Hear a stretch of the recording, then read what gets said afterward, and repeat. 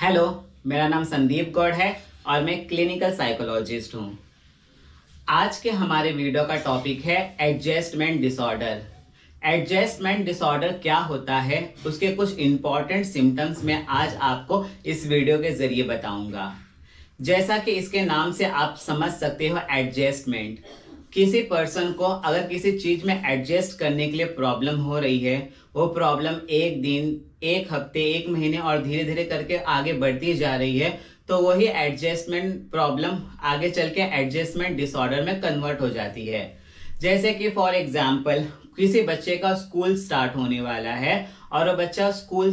किसी बच्चे का स्कूल स्टार्ट होने वाला और वो बच्चा घर से अब स्कूल जाने वाला है और किसी टीन एज का कॉलेज स्टार्ट होने वाला है तो बच्चा स्कूल से कॉलेज जाने वाला है। तो उस समय उसको बहुत ही ज़्यादा नर्वसनेस होता है टेंशन होता है स्ट्रेस होता है कि कैसे लोग होंगे टीचर कैसे होंगे फ्रेंड्स कैसे होंगे स्कूल या कॉलेज कैसा होगा, क्या होगा।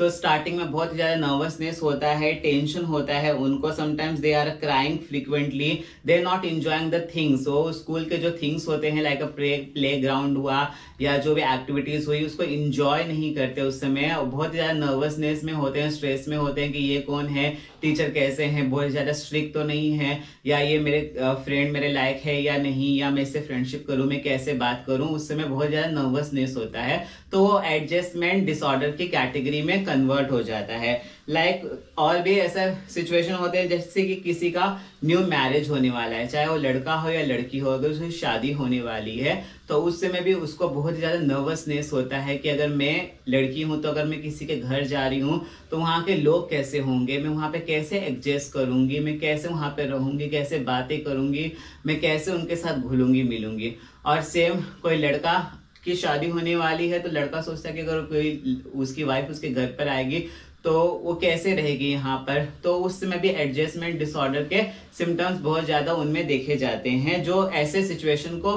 प्रॉपरली हैंडल नहीं कर सकते। जो थोड़ा मेंटली वीक होते हैं तो वो एडजस्टमेंट डिसऑर्डर के शिकार हो जाते हैं। देन ऐसा भी होता है कि जब कोई इंसान, जब भी दो कोई कपल पेरेंट्स होने वाले होते हैं, जैसे कि उनका बेबी होने वाला होता है तो उस समय या तो फादर या तो मदर अगर वो दोनों में से कोई भी थोड़ा मेंटली डिस्टर्ब होता है या वो इतना कैपेबल नहीं होता खुद को हैंडल करने के लिए तो उस समय भी ऐसे नर्वसनेस की सिम्टम्स आ जाती है स्ट्रेस आ जाता है इंजाइटी आ जाती है कि बेबी होगा तो मैं कैसे रखूँगा या कैसे रखूँगी, कैसे खिलाऊँगा, कैसे खिलाऊँगी, कैसे पिलाऊँगा, कैसे पिलाऊँगी, कहाँ से मनी आएगी या कैसे उसका हम लोग इन्वायरमेंट रखेंगे, हम लोग कैसे उसको ग्रो करेंगे लाइक दैट देन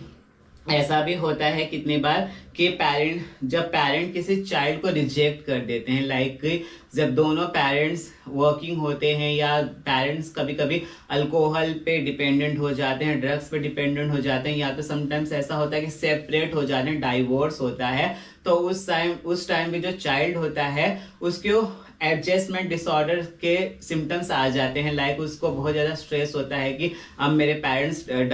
दोनों अलग हो रहे हैं, या अब मेरे पे ध्यान नहीं दे रहे, अगर उन, अगर वो बहुत ज़्यादा वॉकिंग है, या वो किसी अल्कोहल या अलग सब्सटेंस के शिकार हैं, वो उसके बच्चे पे ध्यान नहीं दे रहे हैं तो उस समय बच्चे के ऊपर एडजस्टमेंट डिसऑर्डर के सिम्टम्स आ जाते हैं नर्वसनेस आ जाता है स्ट्रेस आ जाता है, हर टाइम फ्रिक्वेंटली क्राइंग होता है, रोना होता है they not enjoying the thing at home at college at playground at society any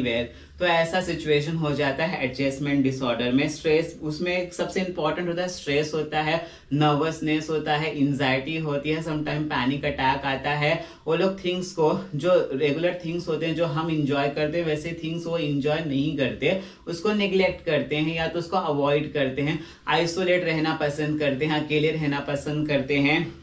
like like that तो ये सारे प्रॉब्लम होते हैं। कभी कभी ये भी होता है कि इन्वायरमेंट लाइक हम लोग कोई घर शिफ्ट कर रहे हैं, एक सिटी से दूसरी सिटी लाइक मैं मुंबई में रहता हूँ मुंबई से दिल्ली, गुजरात या अहमदाबाद या what ever any place I am going to shift my place या और कोई जो पेशेंट है ऐसे डिसऑर्डर के, वो अपने होम को शिफ्ट कर रहे हैं। तो उससे में भी प्रॉब्लम होता है कि अरे हम अब मुंबई से अब जा रहे हैं, गुजरात या दिल्ली जा रहे हैं तो हमारे लैंग्वेज बैरियर होंगे, वहाँ के लैंग्वेज डिफरेंट है। लिटिल बिट कल्चर्स भी डिफरेंट हो जाते हैं और लिटिल बिट फ्रूड क्वालिटी भी डिफरेंट होती है। तो उस समय भी ऐसा सिचुएशन उनके साथ देखने को मिलता है, जो अपने आप को कैपेबली मेंटली हैंडल नहीं कर पाते तो एडजस्टमेंट के शिकार हो जाते हैं। स्ट्रेस होता है इंजाइटी होती है पैनिक अटैक आता है, या तो फिर उनको बहुत ज़्यादा थिंग्स इंजॉय नहीं करते, ये सब।